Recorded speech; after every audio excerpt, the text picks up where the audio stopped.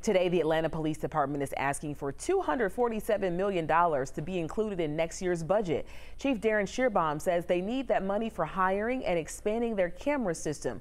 The chief says the goal is to be fully staffed with 2,000 sworn officers by 2026. He says he was going to present his budget request on the same day of the Midtown mass shooting, which he used as an example when talking about the value of the department's camera registry system called Connect Atlanta two weeks ago when we were looking for the shooter in Midtown. It was the cameras that were very, very key in us quickly being able to identify who the shooter was, being able to quickly identify where they had went, uh, and to be able to work with our neighboring jurisdictions.